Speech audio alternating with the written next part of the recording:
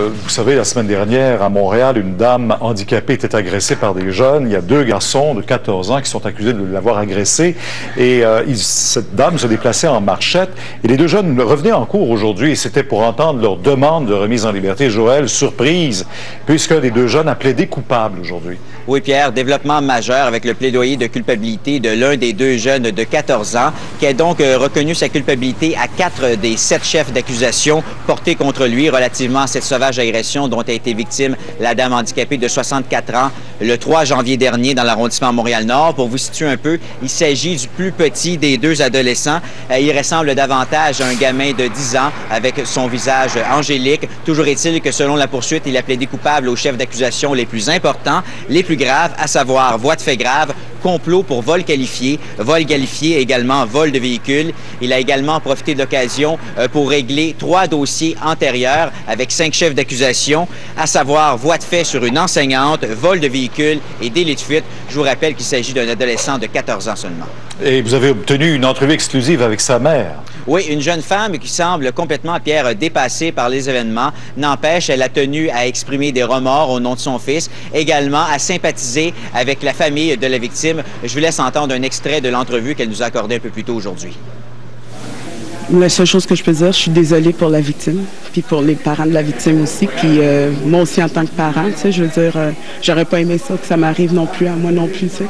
Quand ils sont à la maison, ils ont de l'air des bébés, des enfants super gentils, mais quand ils sont dehors, je sais pas. C'est votre fils, vous le connaissez. Est-ce que c'est un enfant en problème depuis un certain temps? Depuis deux mois, hmm, j'aime pas les fréquentations qu'il y a. Fait partie d'un gang de rue? Non. Ben, il faut dire, euh, bien sûr, aussi qu'il y avait d'autres jeunes qui étaient impliqués dans cette histoire-là. Qu'est-ce qui arrive des deux autres euh, qui sont accusés? Là? Écoutez, il y avait un autre adolescent de 14 ans qui a subi euh, aujourd'hui au tribunal de la jeunesse son enquête sur remise en liberté. Et sans surprise, le juge Gaëtan Zonato a refusé de le remettre en liberté. Le jeune de 14 ans devra donc revenir devant le tribunal de la jeunesse pour la forme le 24 janvier prochain, en même temps du jeune homme de 18 ans qui est impliqué dans le même dossier et qui, lui, fait face à une accusation beaucoup plus grave, soit celle de tentative de meurtre. Donc, on saura un peu plus à partir du 24 janvier quelle sera la suite des procédures pour ces deux autres jeunes hommes-là. Et en ce qui concerne Pierre, le jeune homme de 14 ans qui a plaidé coupable, il connaîtra sa sentence le 21 février prochain. Merci, Joël. Au revoir. Au revoir.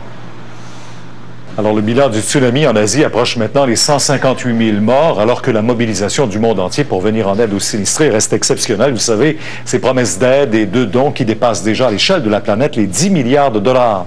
Notre envoyé spécial, Richard Latendresse, est en Thaïlande. Bonsoir, Richard. Bonsoir Pierre. Alors vous êtes euh, à la principale morgue près de Phuket, là où les corps sont transportés pour leur identification. Oui, donc euh, c'est ici que la deuxième étape, si on peut l'appeler ainsi, de l'identification des corps des victimes se fait. Il y a une première étape donc à Phuket, dans la ville de Phuket, où les gens vont inscrire, euh, vont s'inscrire et décrivent un peu la personne qu'ils recherchent. Et puis après ça, ça se passe ici, alors que je vais vous dire que les corps, tous les corps ramassés ici à Phuket et tout dans la région finalement la côte thaïlandaise